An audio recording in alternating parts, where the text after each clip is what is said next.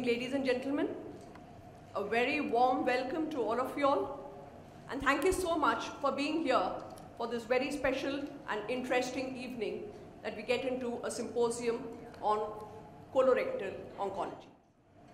So the need of healthcare today is to look at various aspects on how do we tackle oncology, what should be our approach to rid community or treat community of its oncology burden.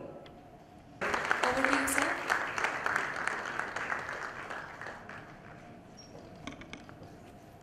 Good evening, ladies and gentlemen. Thank you very much for coming here and uh, thank you for sharing these uh, and participating in this, uh, in this thought process of making cancer care not only accessible but also affordable to the vast millions that are there in our country. I would specifically thank all the eminent panelists who have spared their time today and who have come here in order to help us do that. Uh, without much ado, I would like to first uh, inv- invite our first panelist on stage, Padma Shri Professor Dr. Rajendra Badwe. Ladies and gentlemen, we rarely get this opportunity to listen to the words of a great and knowledgeable speaker.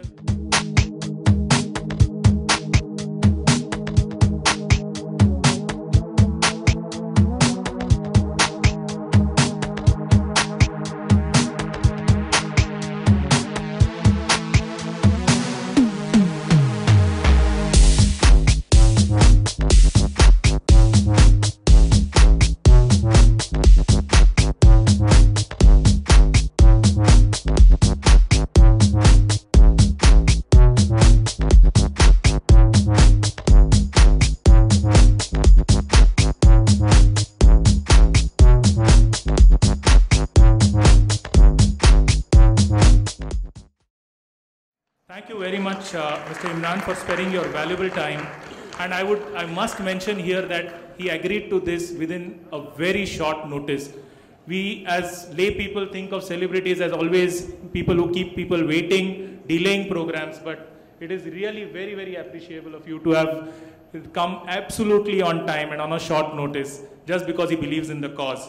I would request Mrs. Rinkubam Mavani, uh, Marketing Head, Fortis Mulund, to welcome Mr. Hashmi with a bouquet of flowers.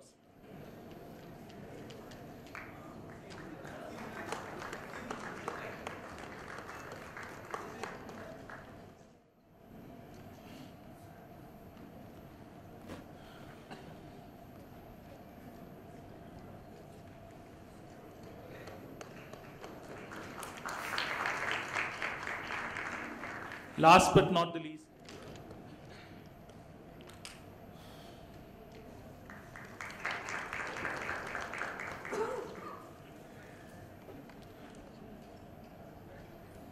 in India and which is the biggest achievement of this country.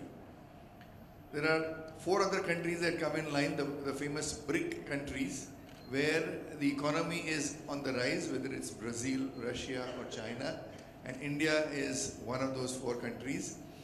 And cancer incidence in all these three countries, other than India, it's risen by anywhere from 12 to 24 percent whereas that in India has been a straight line. The incidence has remained constant. Then why is the perception that it is more? And the perception is more because of two reasons. One is urbanization does increase the incidence of cancer, the numbers, the absolute numbers increase. And Actually, if you see the cancer is increasing in numbers. See, it was about say 10 years ago in India, it was say 8 lakhs. Now it is say 1.2 new cases coming up. That means it is increasing, no doubt about that. But in Mumbai, we always get two types of cases. People who are staying in Mumbai and people coming from outside. And the outside load is tremendous. Now in municipal hospitals, if you see, their hands are studded with many other things, from say dengue to lepto to even any other benign diseases. But still, a department like say general surgery or our GI surgery, many other departments, so most 30% of patients will have cancers. And what Dr. Rajan said is absolutely true. We are now seeing many patients which are curable kind of a thing. I mean, once upon a time, if somebody has a leukemia, we used to say, okay, he's gone. It's today it is not so. A young child of leukemia can have almost reasonably 90% cure in many cases. So I think we are changing the type of patients coming to us. So even public hospitals also are changing towards. And as I said, 30% of our load is cancer load. And that is what uh, municipal hospitals cope up. Uh, before, I, I know you have gone through a personal journey of, which had its uh, with with cancer, with this brush with cancer, and the book, Yes. which was so nicely written. What what is now the difference you observe when you were not, you know, when cancer was something distant, and now when it is something when you have experienced personally? Uh, well, first of all, good evening, everyone here. Thank you so much for inviting me. Um, you know, first of all, I want to, you know, for people who have not read the book uh, or don't know about um, the my, my son's cancer, uh, I'll give you a bit of a lowdown on what happened in 2014. Um, my son was at that time uh, three years, uh, 10 months, and he was, uh, he was diagnosed with uh, a condition called Wilms tumor. It's a very rare case of kidney cancer. It happens to a very small percentage of kids worldwide. And my son happened to be the, part of that unfortunate percentage of kids. Um, this uh, discovery of this cancer, uh, the first uh, very bizarre symptoms were over a, very usual brunch at uh, a five-star restaurant in Mumbai when we had come back from uh, um, a New Year trip in January, and um, there was no accompanying fever, there was no vomiting, there was no discomfort that my son had. He was extremely ill. He's a very, very positive, very, very energetic kid. And uh, that day he happened to pass blood in his urine. And we, as parents, obviously freaked out. Uh, we took him to uh, the nearest hospital. That's where we all get treated. That's in Khar, Hinduja.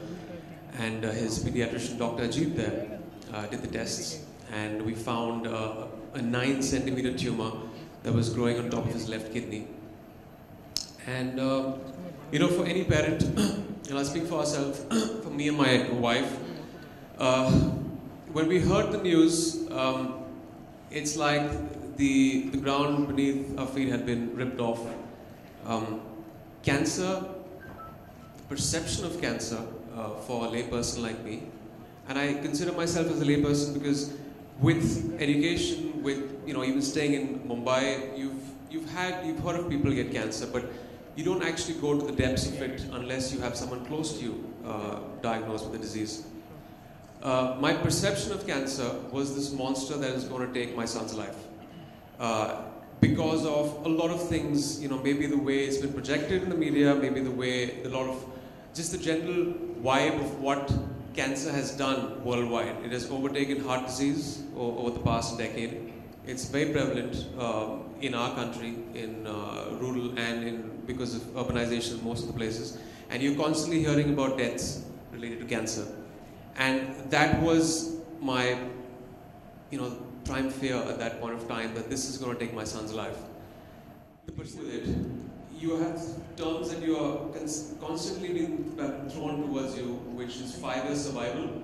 Your fight doesn't end after your chemotherapy or radiation. It is another psychological problem you go through for five years. We're still dealing with it. My son is on two and a half years now, which is he's, he's out the red right now. But uh, there are a lot of factors uh, with cancer that actually add up uh, the fear syndrome that we all have when we hear about cancer. So Manoj, I think We heard the news, obviously, it was the, the worst part, and post that, every day was like a new hurdle.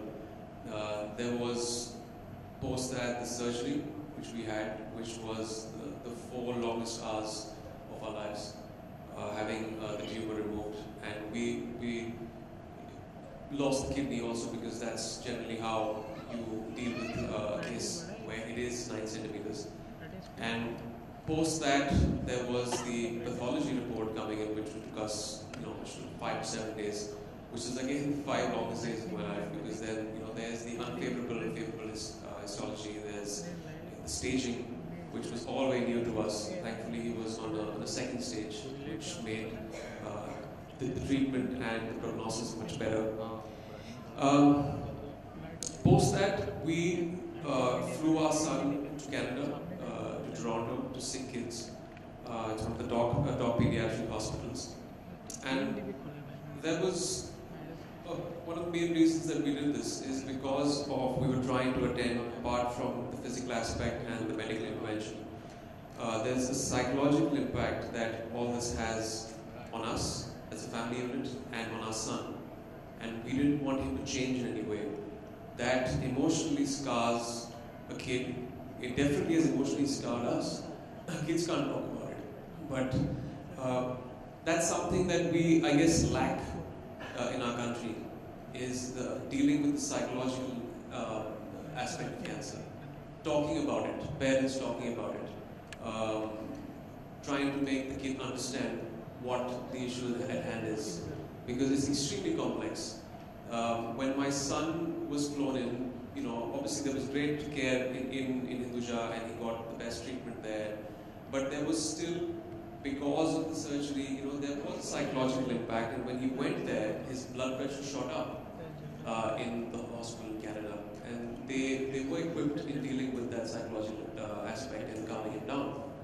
Uh, ditto for us because we also had someone to speak to through the entire incident.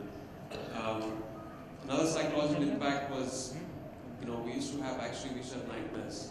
I came back to Bombay. I, I didn't get sleep. I, I was working here. I came back from my shoot after a month from there. I left my wife and my son when he was being. And I used to get all of one hour of sleep uh, in the night. And it was hell for me. But that's something that I guess every parent has to deal with. And eventually, I don't even know if I need, I need to, I need counseling after this. So I, I really need, I feel that India needs more units in hospitals. I think they are starting that right now. It's in the infancy. They have a field abroad which is psychosocial oncology, which deals with, uh, you know, attending with counseling sessions for parents and for uh, even for youngsters. So it has had a deep psychological impact, something that I fully don't understand yet. I don't know the psychological impact that it's had.